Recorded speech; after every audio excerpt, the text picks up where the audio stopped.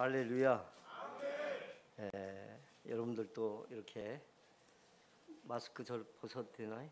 예, 예, 여러분들 이렇게 만나 뵙게 돼서 반갑고요. 감사하고 또 코로나 전국에도 여러분들이 코로나 걸렸다가도 코로나가 무서워서 도망해 버리고 또 코로나 감히 접근을 하지 못하도록 여러분들 건강으로 지켜주신 하나님께 감사를 드립니다.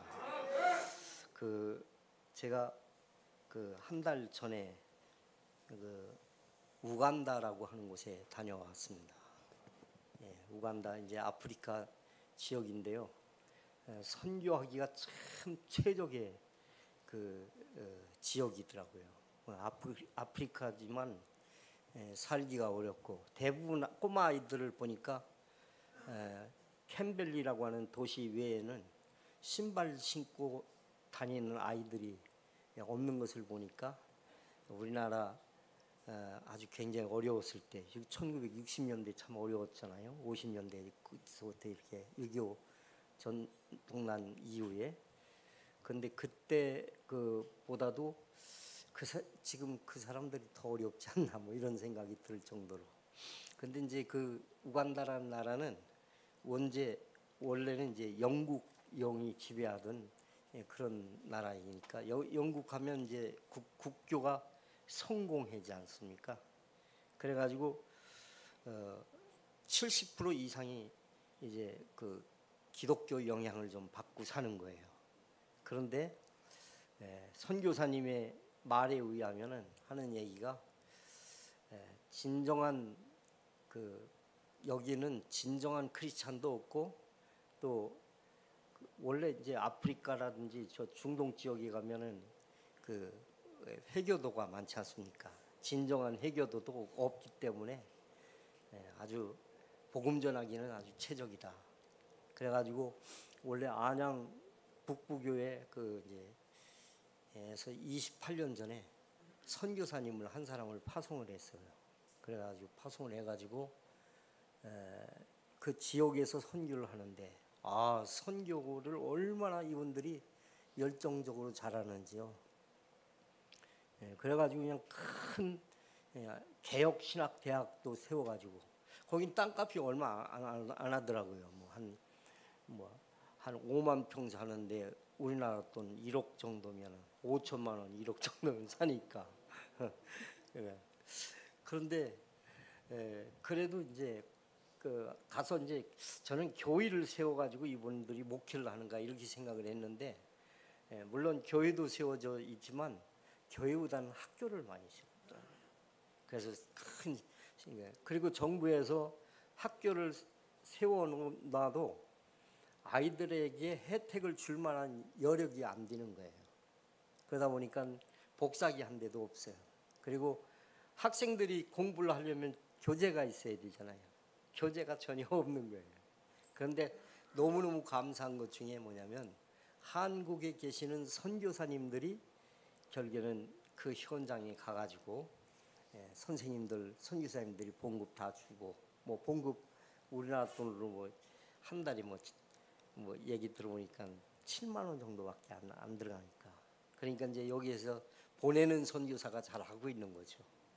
그래가지고 막 어마어마한 그 학교를 막 세워놓고 어, 그리고 엄청난 장비들을 거기서는 살 수가 없으니까 그래서 그뭐 포크레인이나 이런 걸 갖다가 막 들여다가 직접 거기다 땅을 파가지고 하는데 이런 건물 한 다섯 배 정도 되는 그 건물을 1층으로 예, 물론 돼 있지만 짓는데 뭐 5천만 원이면 그냥 진짜 훌륭하게 짓는 거예요. 그러니까 막 열심히 이 사람들이 예, 협력해서 막 선을 이루는데 근데 어떤 학교를 거기 이제 그 초등학교가 7년제입니다.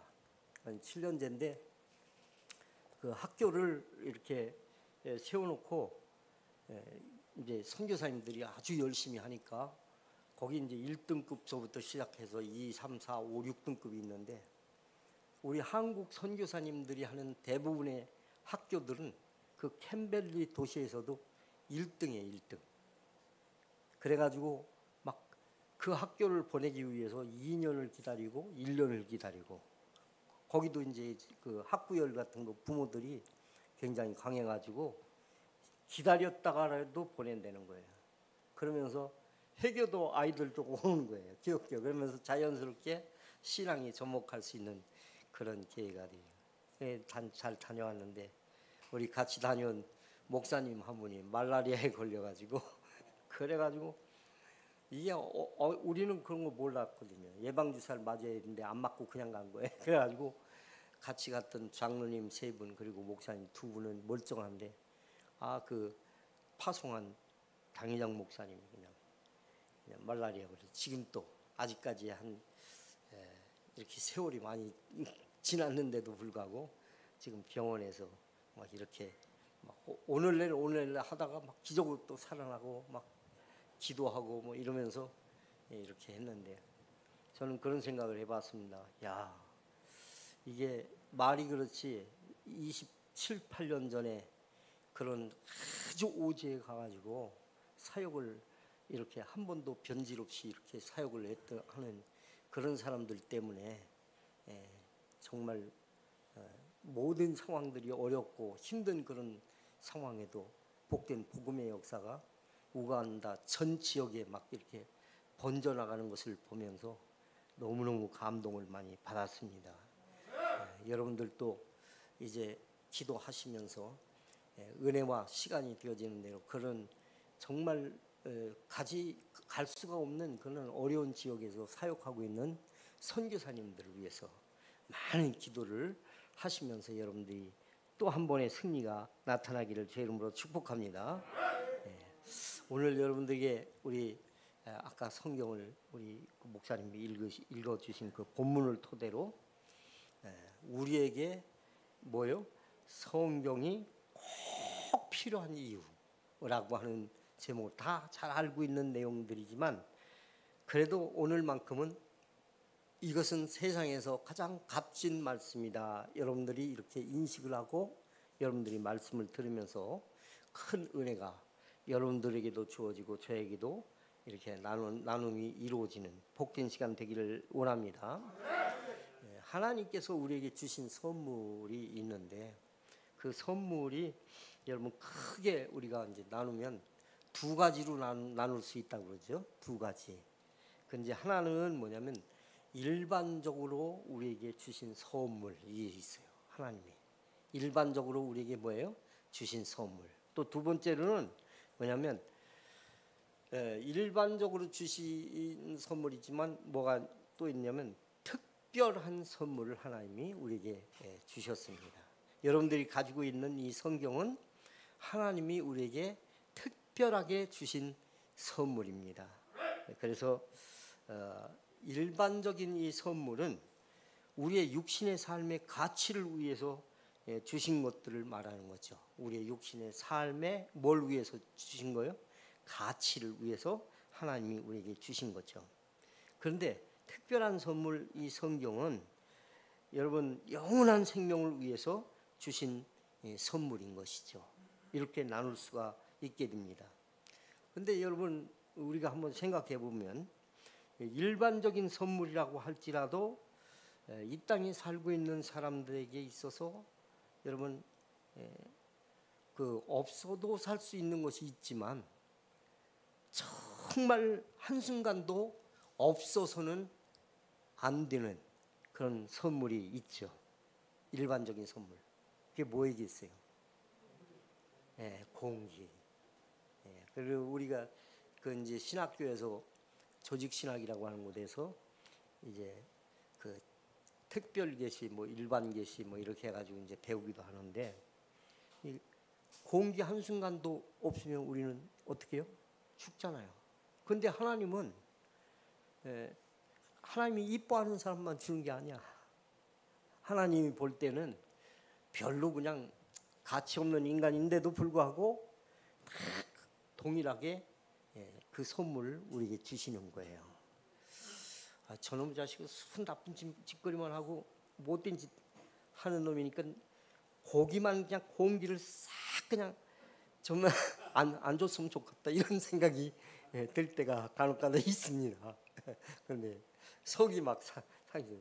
아니 나쁜 짓 하는데도 잘 때 막 그냥 뭐가 이렇게 막 이렇게 그러니 그럼 아이 그 주변만 그 사람 주변만 따라다니면서 공기가 좀 없었으면 좋겠는데 단 한 번도 하나님은 그런 적이 없으시더라고요. 예? 그런 하나님이시더라고 보니까. 여러분 또 뿐만 아니라 그런 공기 중에 이제 산소뿐만 아니라 또 우리에게 여러분 꼭 필요한 게 뭐, 뭐, 뭡니까? 예, 물. 물 없이 살 수 있어요? 물. 물이 얼마나 소중한지.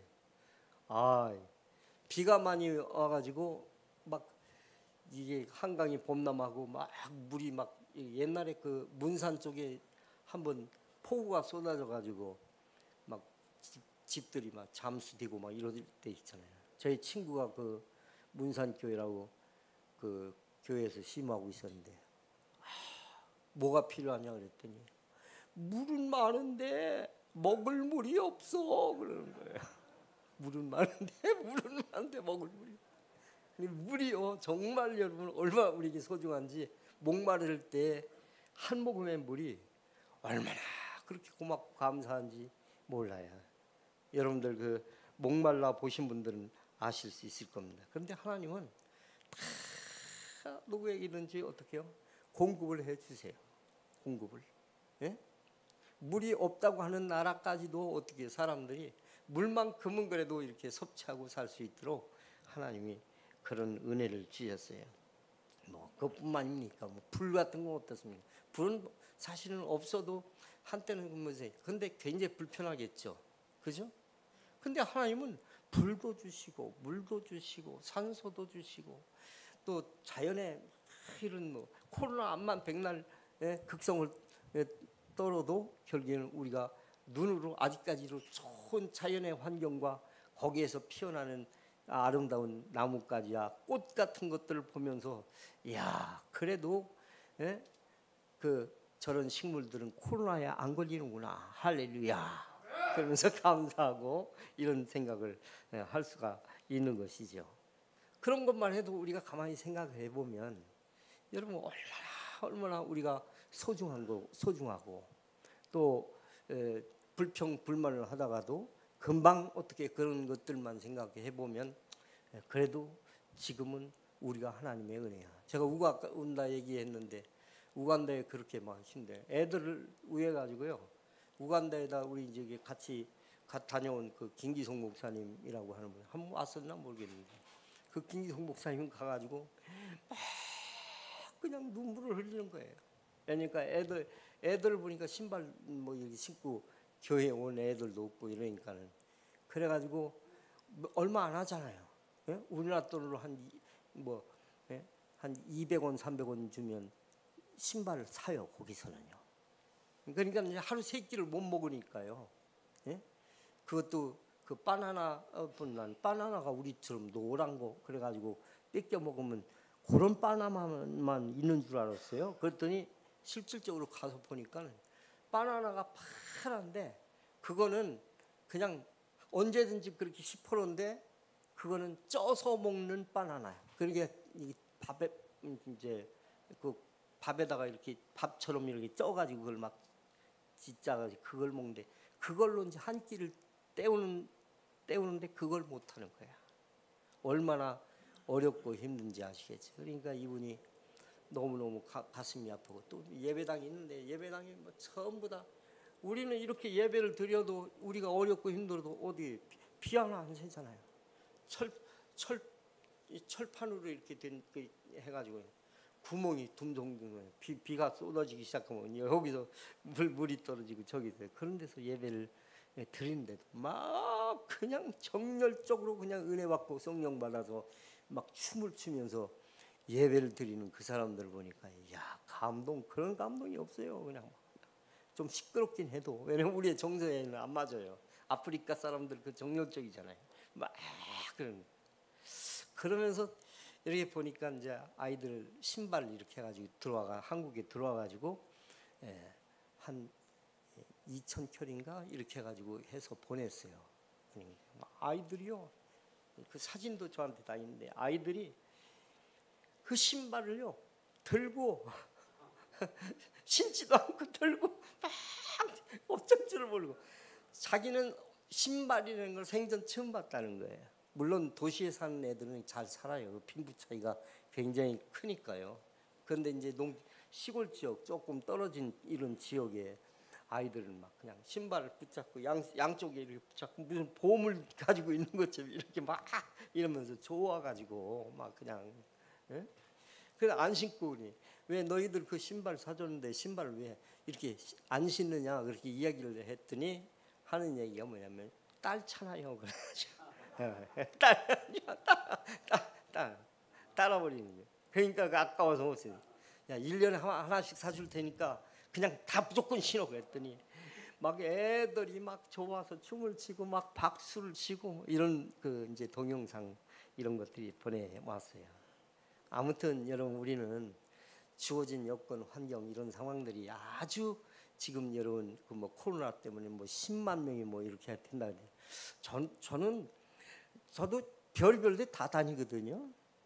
근데 한번 코로나 걸렸던 것 같기도 하고 왜냐니까 아프거나 뭐 기침이 조금 나도 그래도 그냥 뭐 뭐이 정도야 뭐 괜찮고 저뭐 하면서 한 번도 어떻게요 그런 일들이 없었어요 뭐 아파 누워가지고 막 빌빌거린다든지 예? 그런 적이 없어요 예배를 한 번 쉬어본 적도 없고요 예? 그러니까 야 이거는 그 꼭 걸릴 만한 사람들에게 여기 코로나가 들어가가지고 걸리게 만드는구나 이런 생각도 들어지고 그래서 우리는 너무 그거에 대해서 겁을 내도 그 별로 좋은 것이 아니다. 여러분 코로나가 하나님보다 더 무섭습니까? 근데 요즘에는 코로나가 하나님보다 더 무서워가지고 교회 성도들이 이렇게 나올 때 예배, 예배 드리러 나오는 사람들을 보면 아, 우리 자식들이 코로나 때문에 위험하니까 교회 가지 말라고 그러고 공무원들은 아예 뭐냐면 갔다 오면 체크하고 막 이러는 거예요. 그래서 막 어려움을 하소연하고 이러더라고. 그러면서 안 나오다가 눈치 살살 보면서 중간에 나오는 사람들도 있고 이제 이러더라고요. 아무튼 여러분들 우리가 조심해야 될 것은 다른 사람들에게 피해 줄까 봐 우리가 조심하는 거지. 사실은 여러분들 우리 하나님을 믿는 사람들은 적어도 그런 때에 하나님 앞에 더 많이 기도해 가지고 하나님께서 여러분들 특별 관리해서 보호해 주시는 은혜가 있기를 주의 이름으로 축복합니다. 저는 우리 교회에서 가나안 교회에 대해서 소개를 할 때 가나안 교회라고 하는 이 교회는 365일 하루도 빠짐없이 귀하신 목사님들이 와가지고 강단에 서서 말씀을 증거를 하고 있는데 내가 그 가나안 그 쉼터에 그 교회에 나오시는 그런 분들을 보면서 어떤 사람 단 한 사람도 참 비참하고 어렵고 힘든 그런 상황을 내가 지금까지 한 번도 본 적이 없다. 에? 우리가 우리는 얼마나 자유스럽냐. 그런데 거리 띄우게 해가지고 이만큼씩 띄워서 앉기는 앉았는데 어떻게 해요? 뭐 이렇다고 그러고 또 우리 밥 먹자 그러면 밥을 어떻게 먹느냐고 코로나 시대에 그러면서 밥도 안 먹고 이러니까 이제 막 두려워하고 이러더라고요. 아무튼 우리는 하나님이 결국에는 우리를 보호해 주신다는 그 사실을 여러분 확실히 믿고 예, 우리에게 지금까지도 여러분 아직까지 공기 여러분 안 마시고 사시는 분 계세요 여기 다 여러분 산소 여러분 마시고 여러분 살고 계시죠? 여기 여러분들 그리고 여러분 물 안 쓰십니까? 물 물 다 쓰잖아요. 예? 다른 사람들이 이렇게 예, 하고 있는 뭐 보통 이런 그 활동들을 여러분들 다 하고 있잖아요. 그러니까 어, 우리가 너무 거기에 대해서 막 그냥 이러는데 안 되는데 걱정하고 염려하면 그 걱정과 염려가 실제 염려가 되고 실제 걱정이 된다는 사실을 우리가 꼭 기억하고 우리 하나님 앞에 어떻게 됐든 죽었, 죽든 살든 뭐 살아도 주님 것이요 죽어도 주님 것이라고 우리가 고백은 하면서 뒤에서 안 그런 척 그러면 안 되잖아요. 그러니까 성령의 여러분들도 오히려 더 충만해 가지고 하나님의 은혜가 여러분들이 골고루 나타날 수 있기를 주의로 축복합니다. 그런데 그런 것도 참 좋은데 예, 아까 말씀드린 대로 특별한 선물은 영원한 목숨하고 관계가 된 거잖아요. 그죠? 특별한 선물이 뭐하고 관계된 거예요? 영원한 생명. 예? 생명, 목숨하고 관계를 누구에게나 필요한 거지만 그런데 이거는요 어, 누구에게나 주는 건 아니에요. 하나님의 영이 여러분들이 하나님의 택한 하나님의 자녀인 것을 믿으십니까? 그러면 여러분 하나님의 자녀가 되어지는 지기를 누구든지 원하고 바라지만 그렇지만 성경을 보면 보니까 그렇지만 누구에게든지 하나님이 주시는 건 아니에요. 왜냐하면 예, 하나님이 독생자 예수 그리스도를 이 땅에 보내실 때 이런 얘기를 합니다. 천사를 시켜서 아들을 낳으리니 그 이름을 뭐라고요? 예수라 해라. 네? 마태복음 1장 21절에 보니까 저가 자기의 죄, 죄에서 어떻게 해요? 네? 마태복음 자 마태복음 1장 21절에 보시면은 그 뭐라 그랬습니까? 아, 아, 이, 아 이, 이름을 예수라 하라. 이는 그가 자기 백성을 그들의 죄에서 구원할 자이심이라. 거기 뭐라 했어요? 자기 백성이라고 그랬잖아요. 그렇죠? 그러니까 하나님이 자기 백성을 제한됐다 이 말이에요. 하나님이 택한 백성이라 이 말이에요. 네? 하나님의 선, 선택된 백성들을 구원하기 위해서 주신 이름이 뭐예요? 예수란 말이죠. 그러니까 여러분 이거는 누구든지 뭐 갖고 싶다고 주어지는 게 아니에요. 네? 하나님이 선택한 그런 사람에게만 주시는 바로 은혜의 바로 성경이죠. 그래서 어, 여러분 그 특별히 그 성경 말씀이 예, 성경 말씀은 여러분들이 잘 읽어 읽으셔서 또 여러분들이 많은 설교를 들으시면서 아시겠지만은 예, 성경은 이 땅의 모든 자연 만물이 어떻게 생겨나게 됐는지 그것부터 시작을 했잖아요. 그죠? 그러면서 그걸 시작을 해가지고 그 모든 만물이 최후까지 우리가 알고 싶어하는 모든 것이 성경에 기록되어져 밝혀주고 있기 때문에 성경이 우리에게 꼭 필요한 거예요.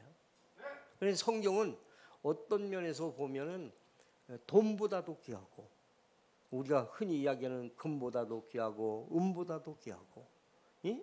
성경은 여러분 우리가 정말 필요한 어떻게 보면 우리의 생명보다도 더 귀한 것이 바로 뭐냐면 성경이에요. 왜? 생명이 어떻게 되어질 때 바로 영원한 생명으로 구원받는 축복된 자녀로 살 수 있다라고 하는 것을 이야기하는 것이 뭐예요? 성경이잖아요.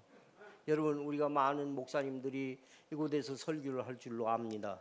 근데 여러분 설교를 하면서 그들이 좋은 교훈과 말씀을 주지만 분명한 것은 여러분들 우리가 이런 인식을 가지고 설교를 들어야 된다고 생각해요. 저는 뭐냐면 우리가 말하는 것은 성경에 없는 하나님이 아니라 성경에 기록된 하나님을 이야기하는 거예요. 할렐루야. 네, 어떤 누구라도 성경에 기록이 없는 하나님을 이야기하면 그건 문제죠. 그죠?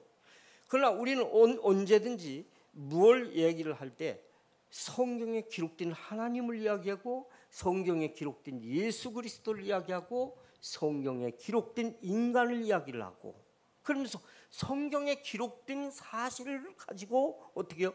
사람들에게 바로 어, 예수를 어, 살아계신 하나님을 증거하는 것이 바로 우리의 모습이다라고 하는 것이죠.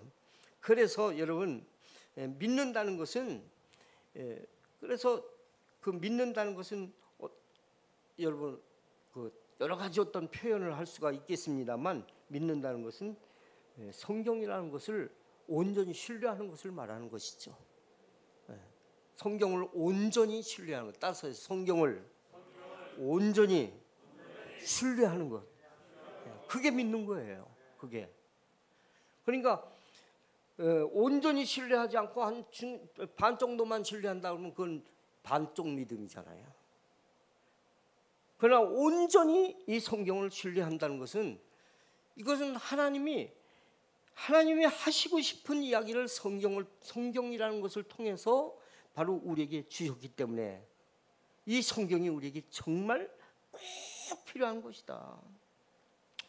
아까 말씀드렸습니다만 우리 이제 여기 혹시 여러분들의 여러분들 중에는 이제 신학을 공부하신 분들이 있습니다만 예, 신학을 공부하다 보면 그 조직 신학이라고 하는 것을 공부를 합니다. 근데 그 조직 신학이라는 것을 공부하는데 그 조직 신학은 예, 일곱 권의 책을 말하는 거예요. 근데 그 일곱 권의 이제 책으로 조직화 시킨 거예요. 학자들이. 그래서 이제 하나가 뭐냐면 서론, 두 번째는 실론, 세 번째로는 인간론, 네 번째로 기독론, 다섯 번째로 구원론, 여섯 번째로 교회론, 일곱 번째로 종말론 이렇게 나눕니다. 근데 이게 한 과목이에요. 근데 한 과목을 이수하는데 6개월 한 학기에서 1년 정도 걸려요. 이걸 공부하는데 목사님들이 이걸 대부분 이제 학교 다니면서 공부를 하죠. 서론 이 서론이 뭐예요? 종교라는 게 뭐냐? 이런 거예요. 네? 종교가 언제서부터 생겨난 거냐? 아까 이야기한 여러분들이 뭐 특별 계시, 일반 계시 이런 것도 결국에는 서론에서 다 공부를 해서 나오는 그런 단어예요. 그 실론, 삼위일체 하나님이라는데 아, 하나님이 몇 분인데? 예? 하나님 아버지가 있으면 하나님 엄마는 누구야? 또 뭐 이런 식으로 그 사람들이 곡해를 하고 있는데 삼위일체에 대해서 결국엔 이야기를 해주고 신성에 대해서 이야기를 해주고 또 그뿐만 아니라 인간이란 어떤 존재냐라고 하는 것을 성경에 있는 그 내용을 다 발췌를 해서 뽑아가지고 그걸 인간에 대해서 이야기를 해주고 있는 것이고 기독론 예? 예수 그리스도는 나하고 어떤 상관이 있으며 결국엔 예수는 예수님은 어떤 신분을 가지고 있느냐 뭐 이런 거 이 공부를 하는 것이고 그다음에 구원론은 우리가 구원을 받는데 어떻게 구체적으로 구원을 받느냐 여러분 구원 받는다는 것이 우리가 여러분 그냥 쉽게 이렇게 되어지는 게 아니라 적어도 성경은 우리에게 구원을 받는데도 순서가 있다고 이야기를 해주고 있습니다. 서정 구원의 서정이라고 이야기하죠. 그러면 하나님이 우리를 불러내고 우리를 결국엔 거듭나게 해서 중, 중생을 거듭나게 해서 거듭난 사람으로 하여금 결국엔 회개하게 하고 믿음을 갖게 하고 그리고 하나님이 의롭다 칭하시고 이러면서 어떻게 단계적으로 그 구원에 이르게 되어지는 그 과정을 쫙 이야기를 해주잖아요. 그 다음에 교회, 교회는 교회라는 게 바, 로 뭐냐? 교회는 일반적으로 건물이 아니라 그건 예배당이죠. 그렇죠? 교회는 하나님이 불러낸 여러분들과 제가 바로 교회인 것을 믿기를 주 이름으로 축복합니다. 이게 바로 교회. 그래서 그런 것들을 잘 해요. 그러면 성찬식 문제도 또 시작을 해가지고 그리고 정말 이 땅에 정말은 어떻게 어떻게 도래가 될 것이냐라고 하는 것까지 쫙 성경에 있는 그런 내용들을 어떻게요? 다 이렇게 해가지고 예, 목회자들이 이제 공부를 해서 그래 여러분들 앞에 서서 말씀을 전하는 것이죠. 그러니까 어떤 것을 이야기하든 성경에 기록된 하나님을 이야기하고 그렇죠? 어떤 것을 이야기를 하든 성경에 기록된 사실들을 이야기할 때 이 말씀이 나에게 생명력 있는 말씀이 되는 것이고 그리고 이 말씀이 얼마나 필요하다라고 하는 것을 그것을 가치 있게 받아들일 수 있다라고 하는 것이죠. 그래서 결국에는 곧 성경이 하나님이기 때문에 무엇이 무엇과도 바꿀 수가 없는 것이기 때문에 이걸 목숨보다 더 소중하게 생각하는 거예요. 왜? 우리의 영원한 생명이 어디에 있기 때문에 성경에 있기 때문에. 그러니까 여러분들이 날마다 성경을 봐야 되겠어 안 봐야 되겠어요? 봐야 되겠죠. 여러분들 식사하실 때 여러분 두 끼만 먹고 아예 한 끼는 뒀다가 나중에 먹고 이럽니까? 그러니 그러지 않고 여러분들이 매 시간 시간 뒤어지면 하루에 뭐예요? 그 식사를 하시나요? 때가 되면 그죠? 그런 것처럼 여러분들이 성경을 보는 일에 어떤 누구에게도 뒤지지 않기를 주로 축복합니다. 성경을 보면요. 목사도 신나요. 왜 그러냐면 성도들이 성경을 보면 아 성도들이 다 알고 있는데 내가 이 말하면 안 되겠네. 예? 이런 생각을 가질 수도 있고요.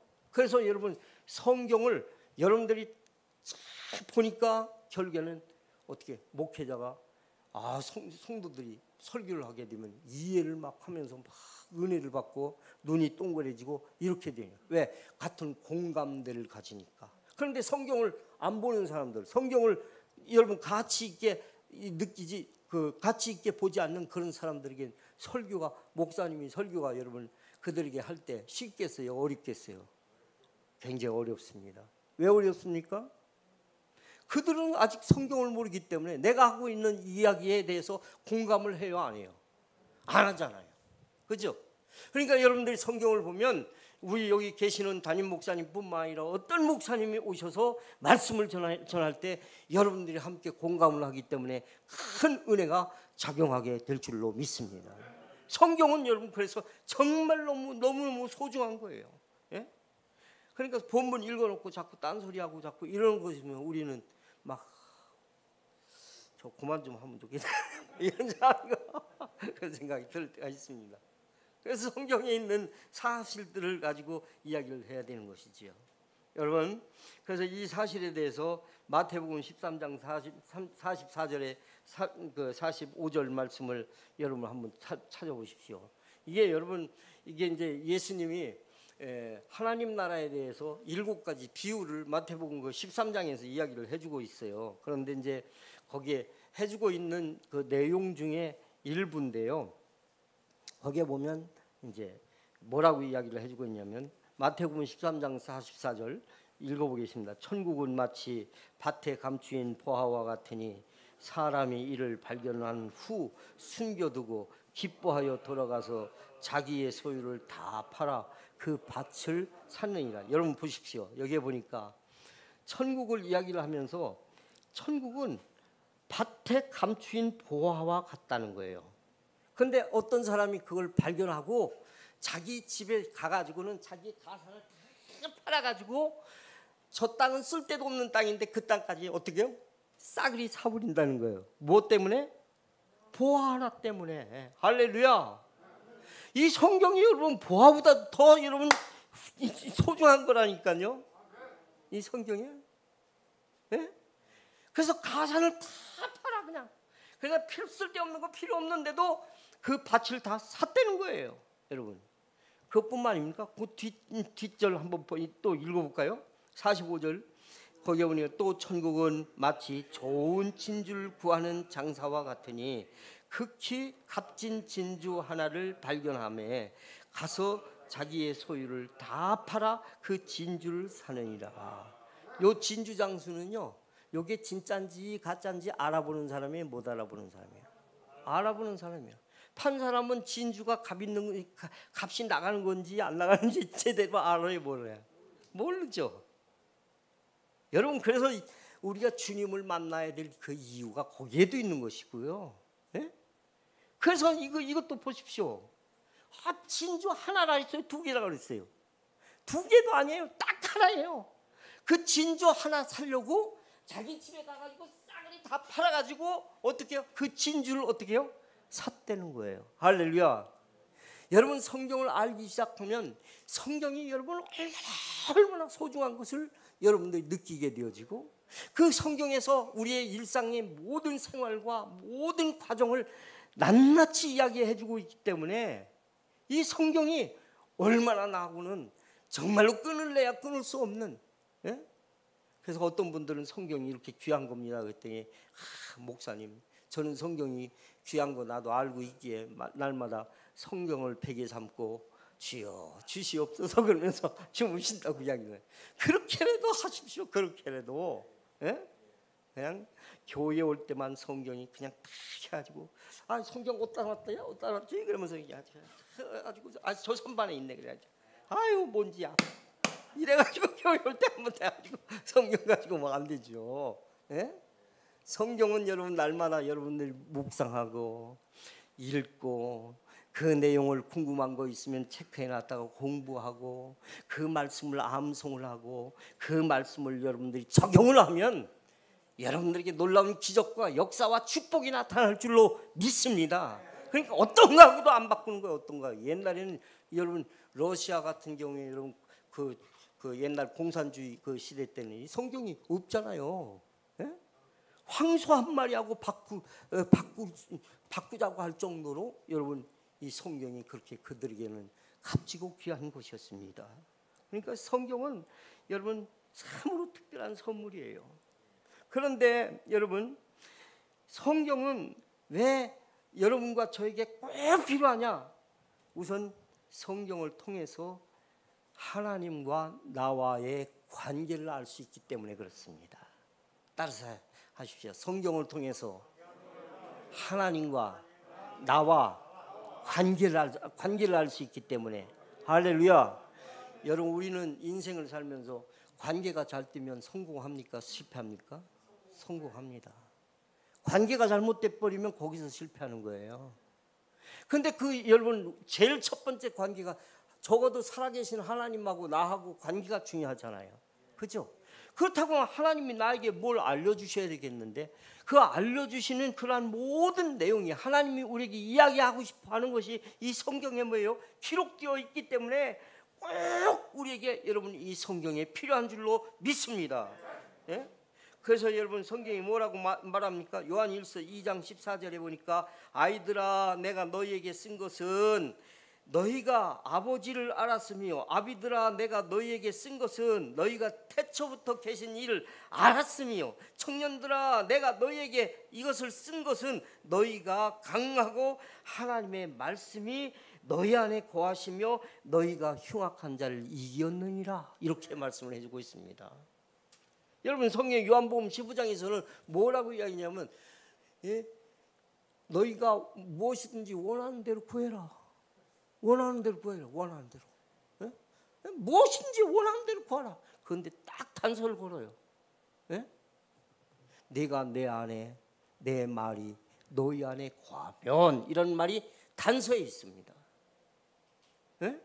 그러니까 여러분들이 성경 안에 들어오시고 또 성경 안에 들어와서 여러분들 그 말씀이 여러분들 지배하는 그 순간부터 결국엔 하나님의 영적인 역사가 아, 굉장히 강하게 나타나는 거예요.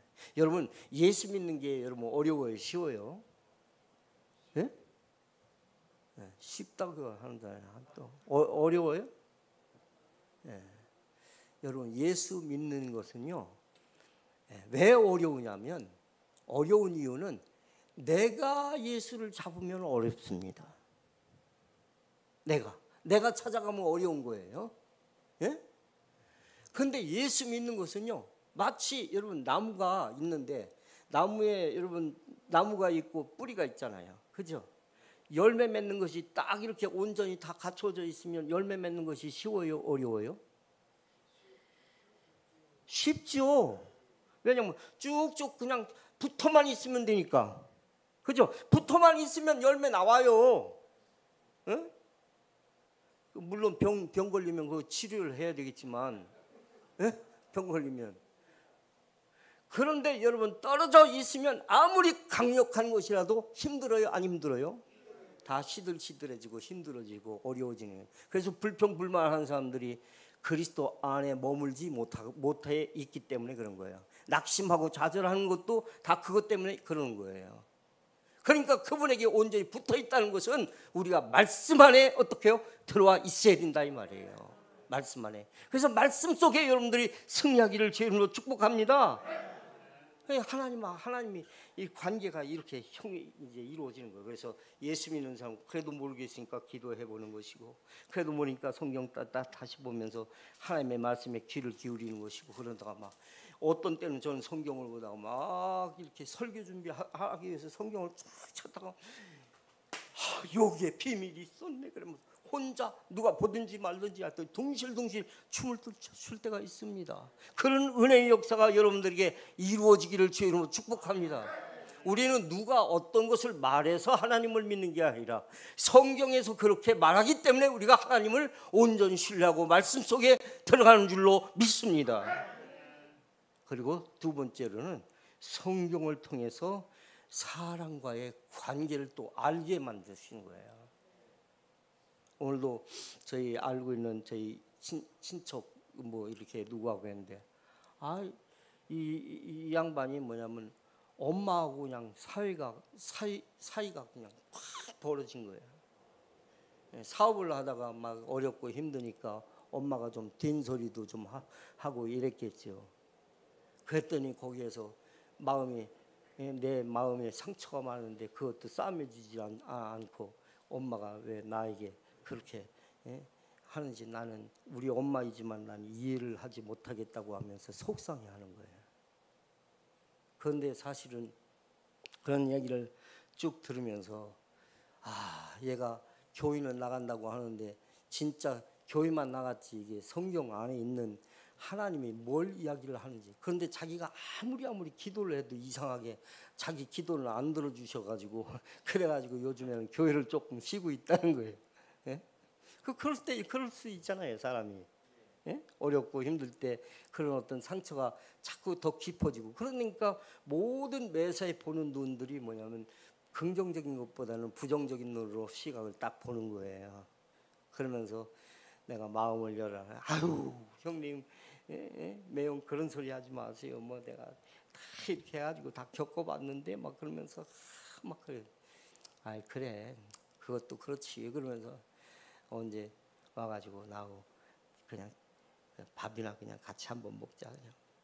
그러면서 이제 삭혀나가 이게 이빨 삭혀. 근데 이 관계가요. 이게 조그만 거 아무것도 아닌데 조그만 것 때문에 어떻게요? 막 오해를 하고 이해하지 못하고 그리고 품지 못하고 이런 상황들이 자꾸 생겨요. 왜? 그 마귀의 작전이잖아요. 성경을 보면 마귀는 어떻게 해서도 사람과 사람과의 관계를 어떻게 끊어내려고 그러거든요. 그걸 분쟁하려고 하는 거예요. 우리 주님이 분쟁케 하기, 하기 위해서 온다 왔다 그랬어요. 화평케 하기 위해서 왔다 그랬어요. 화평하게 하기 위해서 오셨다 했잖아요. 그러면 우리 주님 주님을 근거로 해가지고 화평의 도리를 어떻게 이루어 나가야 되는 거 아니겠어요? 그러니까 이제 적어도 우리 하나님을 하나님과의 관계를 알게 되면 자연스럽게 진정한 사랑과의 관계가 이렇게 잘 알게 되어지는 것이죠. 그래서 야고보서 2장 8절에 보니까 너희가 만일 성경에 기록된 대로 내 이웃 사랑하기를 내 몸과 같이 하라 하신, 하시면 최고의 법을 지킨 것이 거니와 무슨 법이요? 최고의 법이라고 그랬어요. 최고의 법. 사랑법이 최고의 법이라는 거예요. 근데 사랑이 저절로 생깁니까?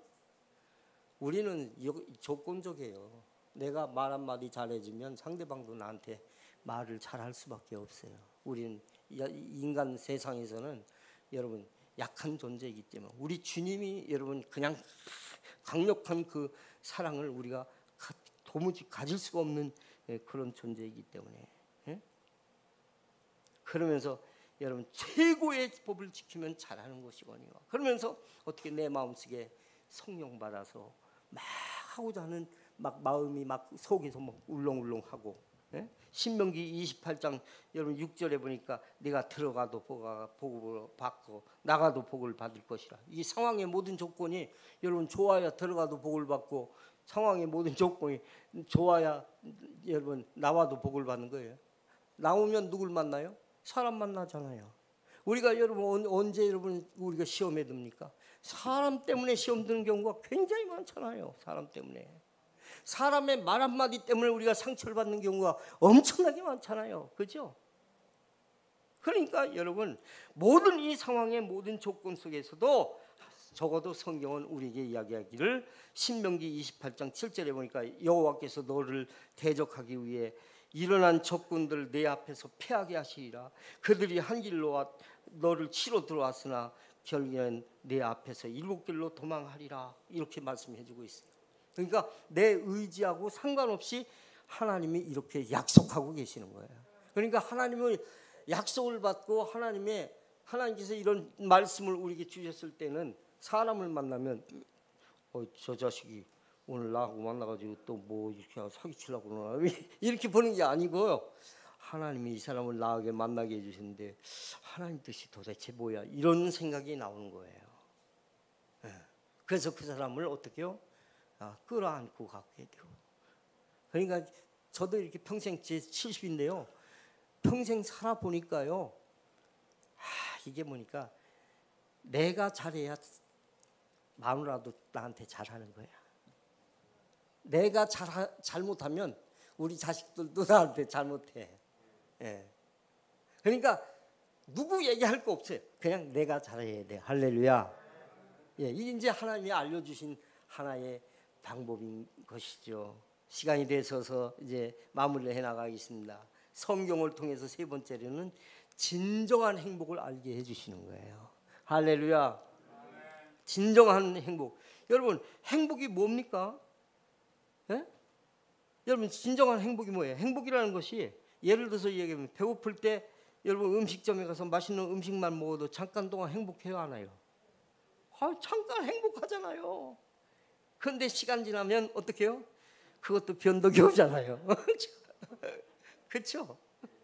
근데 여러분 주님이요 이런 말씀을 하세요. 성경을 보면 뭐라고 했냐면 요한복음 14장 27절에 보니까 내가 너에게 평안을 주는데 내가 주는 평안은 세상이 주는 것과 다르다 이렇게 이야기를 합니다. 그런데 그 얘기를 하고 나서 예수님이 어떻게 해요? 붙들려 가네? 그러니까 제자들이 어떻게 불안하고 제자들이 초조해요. 그렇죠? 제자들이 불안하고 제자들이 초조합니다. 예? 근데 그들이 언제 그러면 그 불안과 초조가 없어졌어요? 주님께서 약속하시고 십자가에 고난 받고 죽으시고 죽으신 그 주님께서 부활하셔서 승천하실 때 너희가 예루살렘을 떠나지 말고 너에게 약속한 것을 부어줄 때까지 기다려라. 그 내용을 붙잡고 120여 명이 마가의 타락방에서 열흘 동안 기도할 때 오순절 날이 이미 이름에 성령이 강력하게 역사하기 시작하는 그 이후부터 그들에게 있어서 근심 걱정이 떠나가고 붙들림과 두려움도 어떻게 다 물러가고 붙들려 가지고 감옥 속에 큰 깊은 감옥에 갇혔는데 베드로는 야고보는 전날 죽었어요. 순교했어요. 그래가지고 이제는 아 이제 곧 이제 자기의 목숨의 위협을 받는 그 순간에 성경에 보니까 뭐냐면 잠을 잤다는 거예요. 여러분 내일 죽는데 여러분 잠 오, 겠어요 아, 두 시간 남았네. 한 시간 남았네. 여러분 이러면서 얼마나 마음이 초조하겠습니까? 에? 그런 상황에 천사가 쫙 나타나서 여러분 파수꾼들 눈을 다 가리우고 결국에는 나를 따라와라 그러면서 베드로가 거기에 구출되어서 다시 복음의 현장으로 나아가는 축복된 역사를 우리에게 성경은 보여주고 있습니다. 막 잡아다가 너 예수의 이름으로 말하지 마 공갈치고 협박을 하지만 우리가 너의 말 듣는 것이 하나님의 말씀 듣는 것보다 옳으냐? 이래요. 여러분 하나님이 주시는 평강, 하나님이 주시는 은혜 이것을 알기 때문에 우리가 주일날 여러분 교회에 나와서 예배를 드리면서 하나님만 집중적으로 바라보는 줄로 믿습니다. 그래서 성경은 신명기 10장 13절에 오늘 내, 내 행복을 위하여 내가 명하는 여호와의 명령과 규례를 지킬 것이 아니냐 이렇게 말씀해 주고 있고 신명기 28장 1절에도 내가 내 하나님 여호와의 말씀을 삼가 듣고 내가 오늘 내게 명하는 그 모든 명령을 지켜 행하면 네 하나님 여호와께서 너를 세계 모든 민족 위에 뛰어나게 하실 것이며 할렐루야 약속의 하나님이 내 마음속에 확증이 되어지는 거예요. 그러면서 그대로 가는 거예요. 그대로. 사랑하는 여러분, 특별히 가장 소중한 것은 왜 성경이 우리에게 꼭 필요합니까? 성경만이 여러분들과 제가 구원받을 수 있는 비밀을 알려주고 있기 때문에 그렇습니다. 할렐루야. 누가 꿈꾸고 나서 야 이렇게 하니까 천국 갔다 왔어. 여러분 그거 여러분 신뢰하죠. 그거는요 죄송한 얘기지만 아 그것도 특별한 경우에 그렇게 그런 사람들을 통해서 하나님 역사할 수 있다고 봐요. 그런데 그거는 굉장히 주관적인 얘기잖아요. 그러나 성경이라는 것은 수천 년 동안 한 문자 한 획도 지금도 변질 없이 그대로 내려오고 있고 그런 사실들을 그대로 우리에게 나열해 주고 있기 때문에 성경에 다 기록을 해서 알려주고 있다는 사실입니다. 그래서 여러분 요한복음 5장 39절에 보니까 너희가 성경에서 성경을 얻는 줄 생각하고 성경을 연구하거니와 이 성경이 곧 내게 대하여 증거하는 것이라고 말씀을 해 주었고요. 요한 1서 5장 13절에 내가 하나님의 아들의 이름을 믿는 너희에게 이것을 쓰는 것은 너희로 하여금 너희에게 영생이 있음을 알게 하려면 할렐루야. 저는 성경을 통해서 제일 좋아하는 메시 그 말씀이 있어서 늘 그 말씀을 가지고 삽니다. 요한복음 8장 32절에 오니까 진리를 알지니 진리가 너희를 자유케 하리라. 할렐루야. 여러분들이 이 성경이 그야말로 내 것이 되어지고 이 말씀이 여러분들을 지배를 해서 자유함이 여러분들에게 이루어지는 축복된 말씀으로 꼭 성경이 여러분 각각에게 필요한 말씀이 되어지기를 주의 이름으로 축복합니다. 기도하기